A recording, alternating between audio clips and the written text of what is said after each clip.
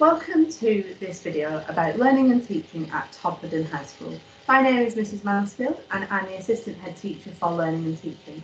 And with me is Mrs Keat, a member of the Learning and Teaching team.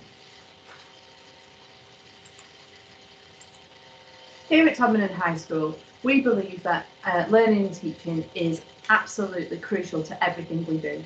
It's values driven within our values of ambition, respect, care and honesty, just like everything that we do at the school. Learning and teaching here is evidence based. We care about making sure that everything we do is the right thing in the classroom based on the best available evidence. As a learning and teaching team and as a staff, we read widely about the best possible practices in education at the moment. We hold a culture as a school through our vision statement of developing the unique potential of everyone. Uh, and we ensure that all of our staff are working on the things that they want to do to be better teachers in the classroom.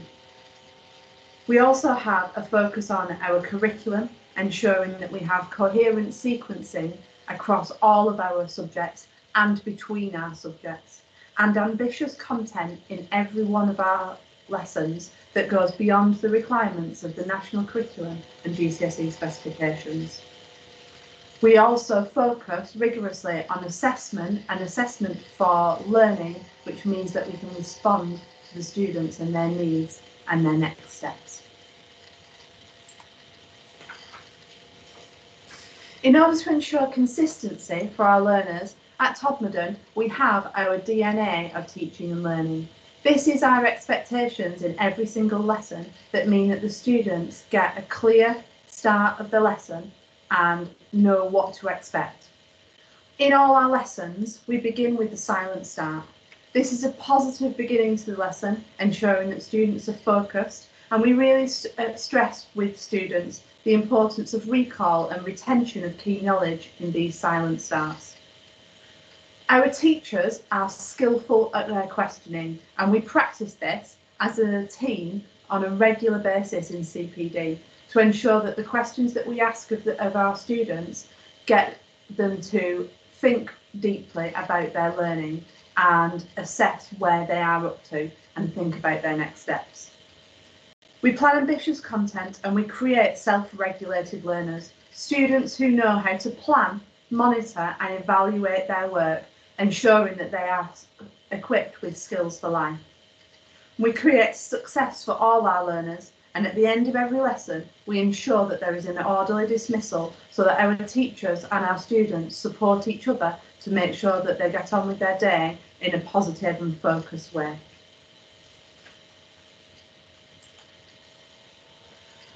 We have a real push on the presentation of work for our students because we believe that excellent presentation aids revision and is an indication of good attitudes to learning.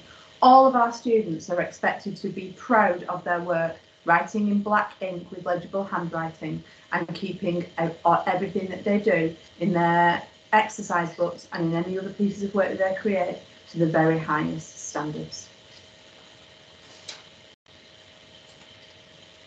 Assessment is a really important part of learning and teaching and we talk uh, to students and to staff about four strands of assessment.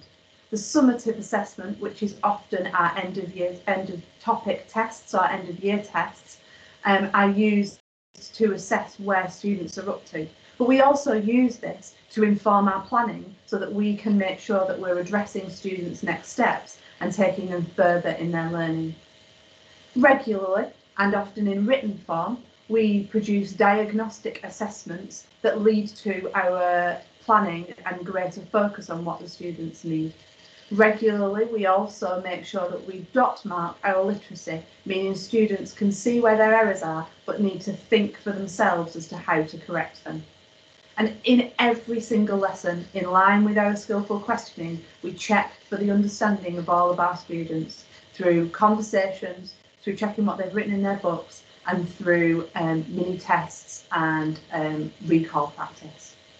Mrs Keats now going to talk a little bit more about assessment and what she does in her classroom. Hi. So as teachers, we regularly assess our students in the various ways mentioned. Assessment is integral to learning and success for all and is an important part of Todmorden DNA. Students become accustomed to the different ways of assessment and value the impact it has on their learning and becomes part of the daily routine within all lessons.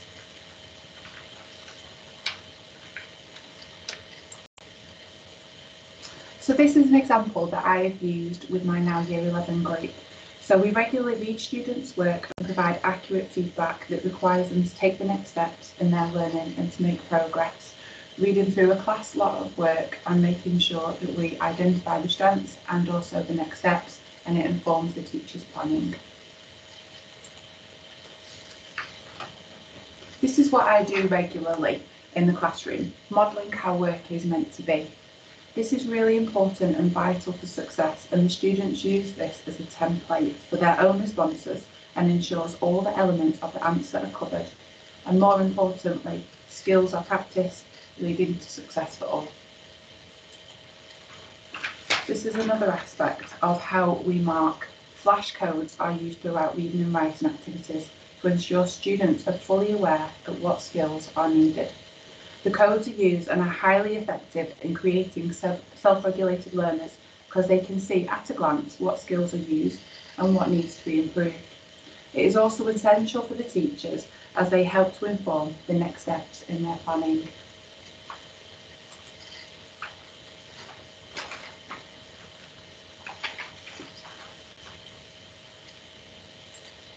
Thank you for your time this, today listening to our presentation about learning and teaching at Todmorden High School.